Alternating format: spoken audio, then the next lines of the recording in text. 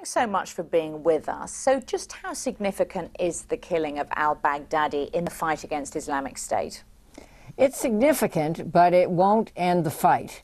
I mean, what, what we need to understand is he was not the founder of ISIS. Let's understand that. That fellow's name was Zarqawi. He was killed some years ago, and yet it's still a, it still has lethal force. It doesn't have territory, caliphate, but it has lethal, lethal force. And the other thing it has is it's not a top down organization, it's loosely affiliated horizontal groups, which means that one can act in the name of ISIS without getting approval from Big Daddy.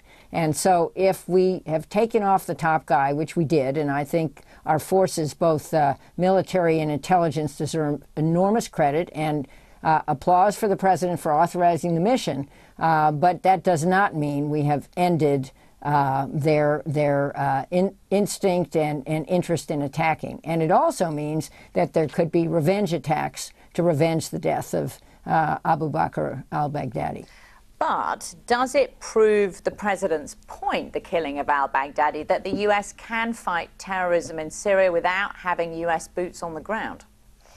Well, we already were fighting terrorism without boots on the ground. Nobody was talking about removing a land force of 50,000 troops. We had an effective land force, our, our allies, the Kurds. What we were doing was training and equipping and, uh, and advising. Uh, and we had very few people in Syria, about a thousand total. Uh, very small loss of life, um, very few in this in this safety zone, but they were keeping the peace. And one of the things that I find uh, enormously uh, concerning is, at least as reported, the president was aware of this mission before he ordered our few troops out of Syria.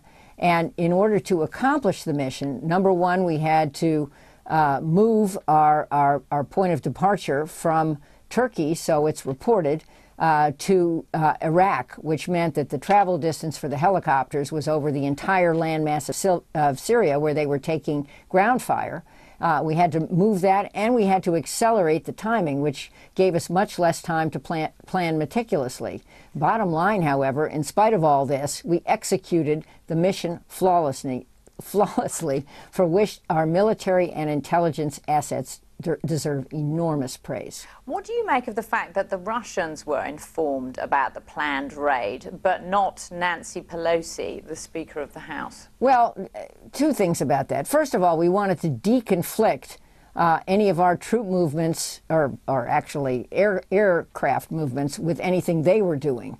Uh, it would have been horrible to have these American helicopters traveling over Syria uh, be shot down by some Russian helicopters. That was not the point. So the Russians were notified. Anyone else in airspace was notified. That had to happen. That is typical. Uh, after the mission, I'm not exactly clear uh, what Vladimir Putin was told. And I, I do believe the so called Gang of Eight, which I used to belong to as the senior Democrat on the House Intelligence Committee, uh, should have been notified and wasn't. Jane Harman, thanks so much for being with us. Thank you, Laura.